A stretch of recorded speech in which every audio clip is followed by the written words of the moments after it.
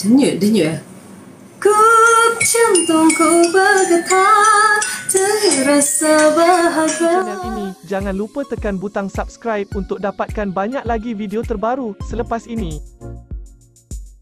Malang tidak berbau, itulah yang berlaku kepada anak sulung Datuk Seri Siti Nurhaliza, Siti Afiah Khalid yang terjatuh ketika bermain skuter sehingga terpaksa dikejarkan ke sebuah hospital. Afiah yang cedera bahagian tangan dan muka turut menerima beberapa jahitan pada bahagian dagu.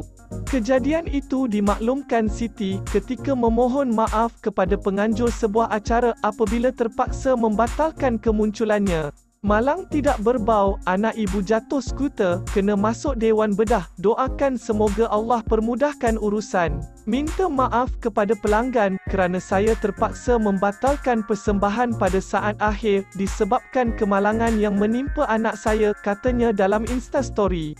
Siti turut berkongsi gambar bahagian tangan kanan Afiah 5 tahun yang berbalut. Menerusi hantaran lain, penyanyi Biarlah Rahsia itu turut menzahirkan ucapan terima kasih kepada Raja Permaisuri Agong, Tunku Hajah Azizah Aminah Maimunah Iskandariah yang mencemar duli bertanyakan khabar anaknya.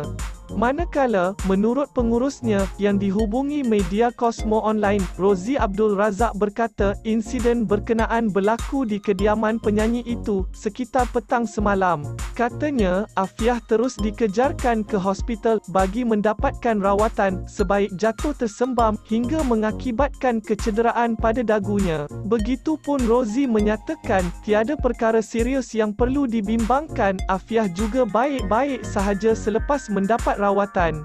Cuma luka kecil pada dagu yang memerlukan beberapa jahitan. Terima kasih kepada yang mendoakan, katanya. Suka video di channel ini, boleh juga tekan butang like dan share di media sosial yang lain. Terima kasih kerana setia di sini.